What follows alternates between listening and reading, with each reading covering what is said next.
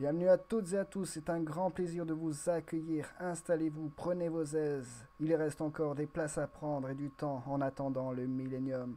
C'est un grand plaisir de vous accueillir. Si vous voulez savoir qui je suis, mon nom est personne. Je ne suis là que pour apporter des précisions. Certains y trouveront leur compte, d'autres pas. C'est selon. Vous voyez les dix commandements des chrétiens. J'en suis fier. Ils sont beaux. Ce sont nos commandements.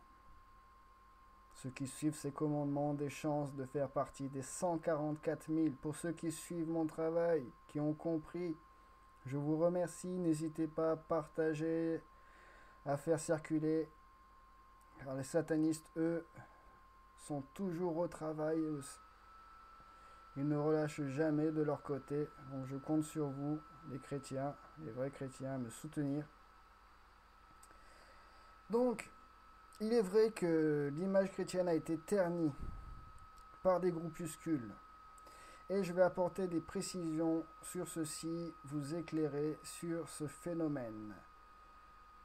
Et je vais utiliser cet article, Les protestants français et la franc-maçonnerie. Alors cet article qui est tiré du musée virtuel du protestantisme, hein, musée officiel des protestants sur Internet.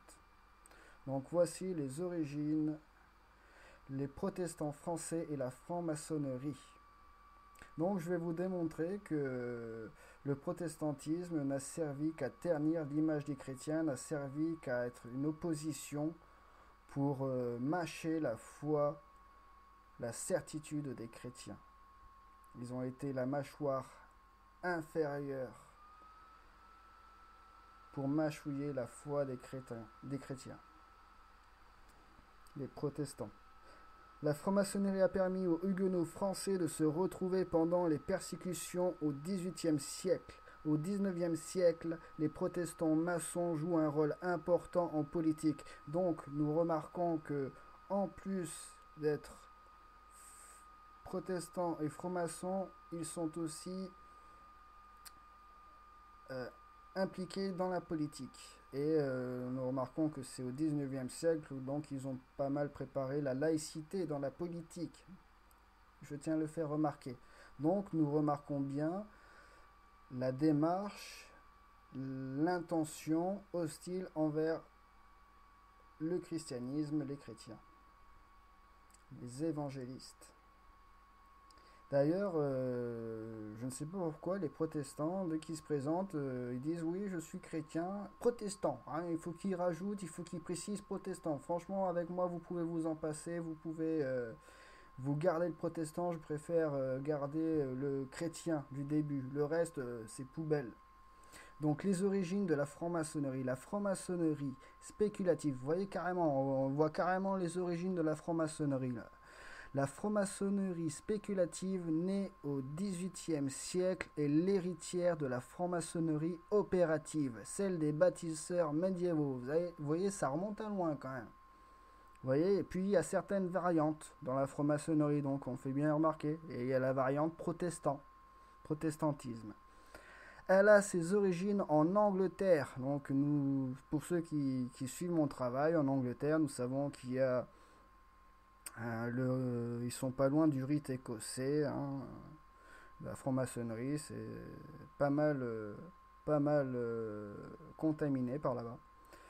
Elle s'organise en 1723 avec les constitutions d'Anderson, le huguenot français désagulier, chassé de France à la révocation, devenu pasteur de l'église anglicane, contribue à les rédiger. Donc, il est à l'origine de l'église anglicane. Donc, Là, on remarque que c'est un moment de transition.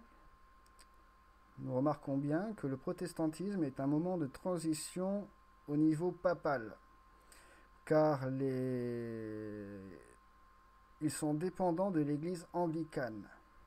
Et l'Église anglicane, nous allons y revenir plus tard. Parmi ces principes figure la croyance en Dieu et la liberté de religion. Donc, Là, déjà, il y a un problème. Il y a un problème au niveau des commandements, là, parce qu'ils disent, parmi ces principe figure la croyance en Dieu. Ok, donc la croyance en Dieu, ils y croient quoi. Ils n'ont pas de certitude.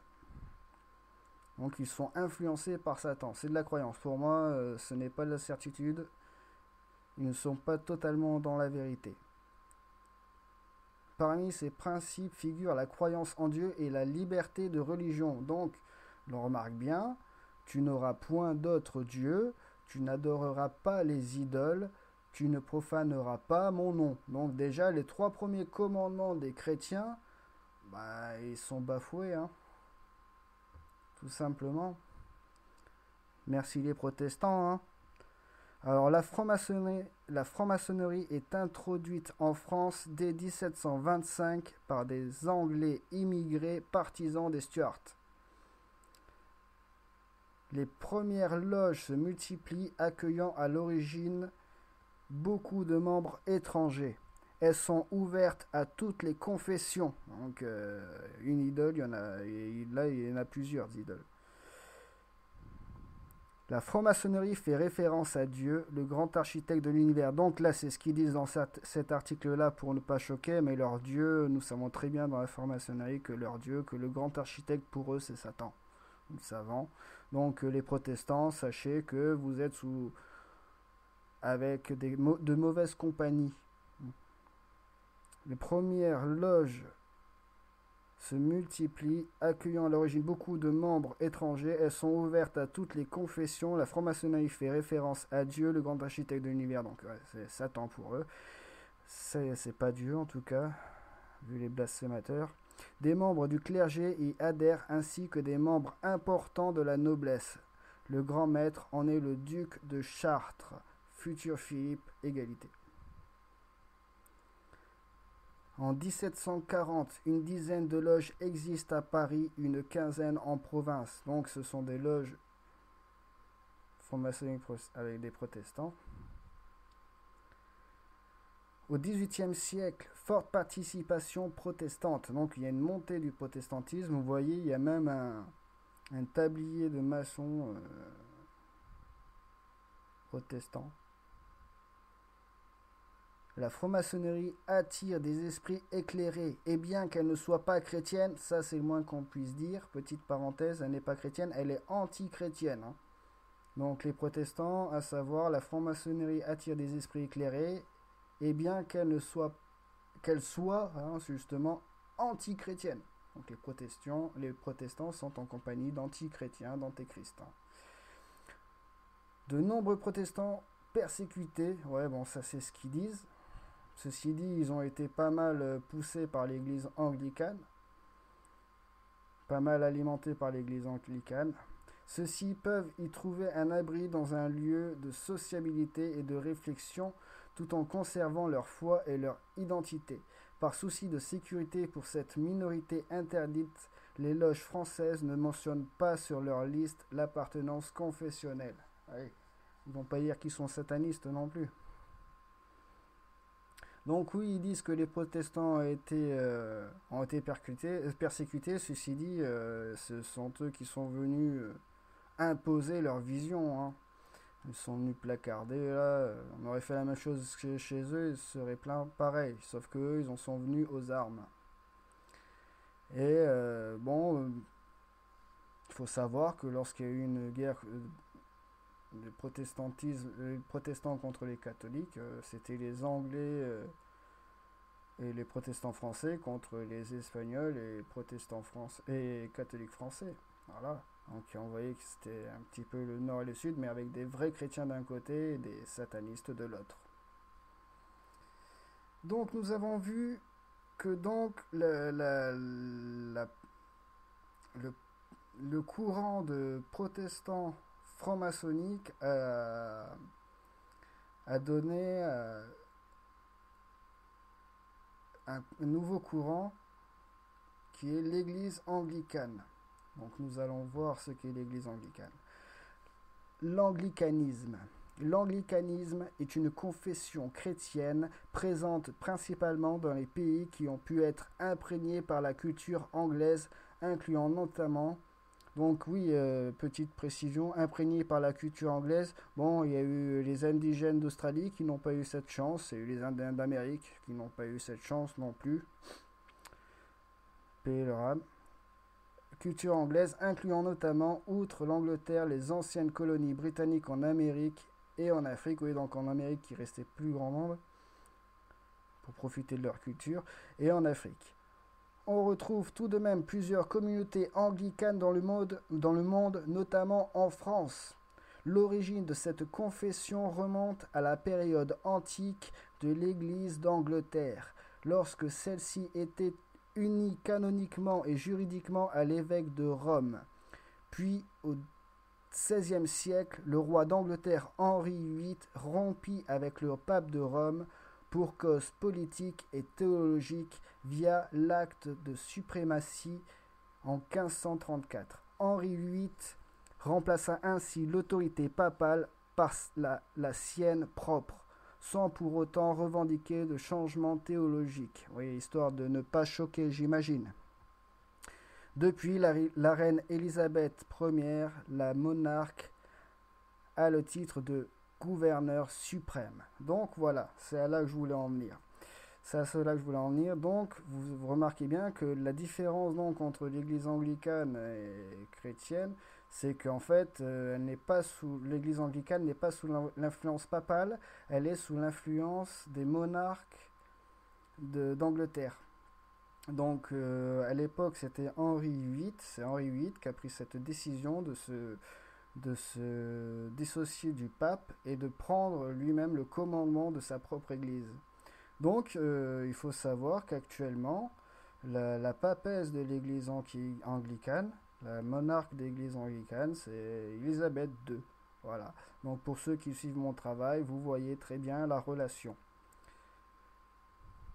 Donc pour les protestants, pour euh, tirer, pour donner une conclusion à ce, à ce que je viens de vous démontrer, je dirais que les protestants, en fait, ils, ont été, ils ne sont qu'un instrument, un outil euh, de, du dragon, de, de, la stratégie du dragon. Donc, euh, pour que des empires puissent avancer, il, faut, il a été démontré hein, qu'il y a plusieurs stratégies qui consistent à, à créer un ennemi virtuel. Vous voyez, créer un ennemi virtuel pour pouvoir faire la mâchoire inférieure et la mâchoire supérieure et, et pouvoir mâcher euh, ce qui se trouve au milieu. Et là, en l'occurrence, en ce qui concerne cette, euh, le sujet de, cette vidéo, en ce qui concerne l'Église, la mâchoire inférieur a été le protestantisme, avec la mâchoire supérieure qui était le, catholicisme orthodoxe. Mais tout ceci a été une invention de l'esprit du dragon pour ternir l'image du chrétien, pour mâcher la foi, la certitude des chrétiens. Donc après, pour les protestants qui, observent cette vidéo, moi je vous conseille de vous repentir. Hein c'est fini, il faut plus faire semblant. Sachez bien que moi je vous prépare à des certitudes, ça va arriver. Hein. Donc euh, repentez-vous, vous avez encore du temps.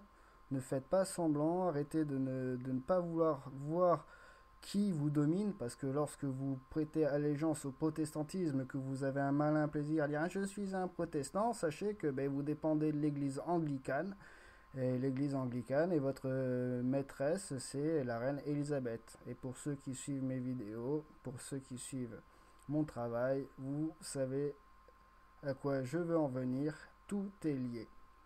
Voilà.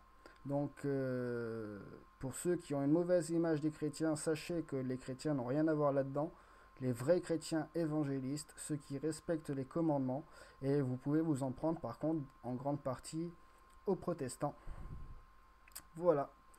Ce sont eux les coupables pour moi, en partie. Hein, en partie, hein, ils sont pas tout, ils font, pas tout endossé non plus, mais en grande partie, vous voyez le principe de création de, de, division pour, euh, créer des, conflits. Le protestantisme est un outil. ceux qui se considèrent comme des protestants, vous êtes trompés par l'esprit du dragon, par l'esprit du mal. Et je vous souhaite de vous repentir. Je vous remercie tous pour votre attention et vous souhaite une bonne continuation. À la prochaine. Au revoir.